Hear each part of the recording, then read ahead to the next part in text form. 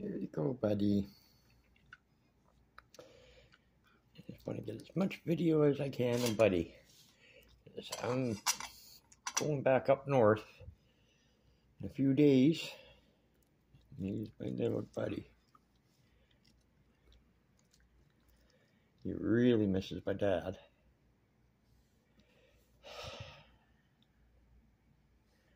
He's such a good old boy. He's getting about uh, up and around 12 now, and he's taken on training people.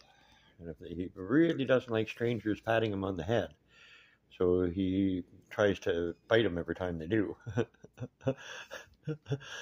but, you know, people will learn if you bite them enough.